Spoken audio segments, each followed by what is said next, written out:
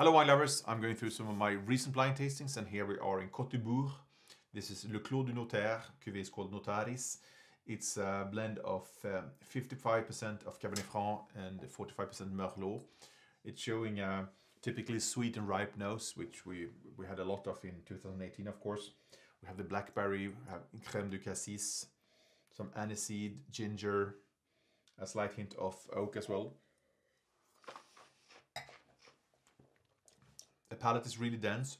There's a fairly high extraction here with um, youthful and um, grippy tannin. Still needing perhaps a few years to calm down. Nonetheless, there's a, a great wealth of fruit here with uh, dark blackberry cassis.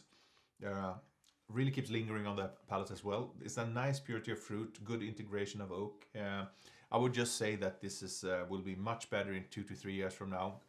If you have the patience, it will soften a little bit, gain uh, hint more complexity, but nonetheless a fine example. Enjoy.